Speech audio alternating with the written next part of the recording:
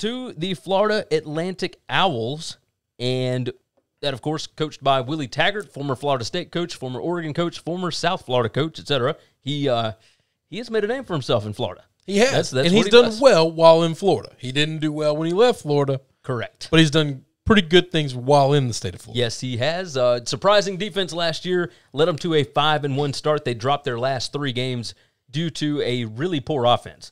Now he looked to fix that in the offseason, brought in veteran offensive coordinator Michael Johnson. His son, Michael Johnson Jr., transferred in from Penn State. They've got a lot of returning production, but it's not super proven. They, they had last year, but it, it wasn't a long year and and they didn't exactly show a bunch of numbers. Like yeah, I mean, but last year was Yeah. a weird COVID. I kind of give a lot of teams a pass on last year. Yes.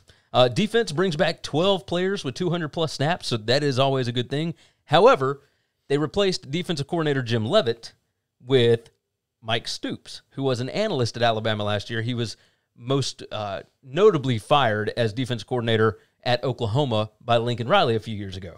Um, and Oklahoma has improved without him at the helm. You know, But I, I trust Willie Taggart's defense. I, I tend to. Th- I well. think that's the difference here. Is I, I think it's Willie's defense. I don't know that I worry so much about the the coordinator there. I feel like it was Jim Leavitt's defense. That's how I. That's how I view it. All right, I might Um, be wrong on that then. The the win total here is seven. The S and P or SP plus Bill Connelly Mm-hmm. over at ESPN's projected record seven and five. FPI's projected record seven and five. The win total is seven. I'm going under. okay. I'm going under that win total. Minus 140 is the juice there. If you wanted to go over, it's plus 110. Uh, I think Florida Atlantic has some things that they need to figure out. They are projected favorites in, let's see, six games. And so, projected favorites in six games. They got three toss ups. Uh, they play at Western Kentucky. Uh, they've got Marshall at home. They've got Georgia Southern at home. Yeah, Are they going to be favored against Air Force?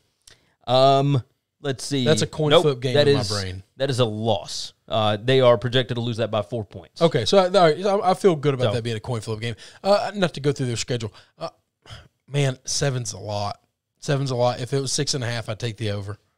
Yeah, But yeah. but to will they get to eight wins or more?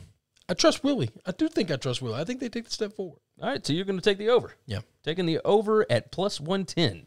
Okay, I, I'm going to keep track of these. That's fun. keep track of them. Um, let's see. Thanks for listening to the Winning Cures Everything podcast. The website is winningcureseverything.com, and if you want to connect with us, we're on Twitter at Gary WCE, at Chris B. Giannini, at Winning Cures, or you can email us, Gary at winningcureseverything.com or Chris at winningcureseverything.com. Subscribe everywhere you need to subscribe, and we'll see you soon.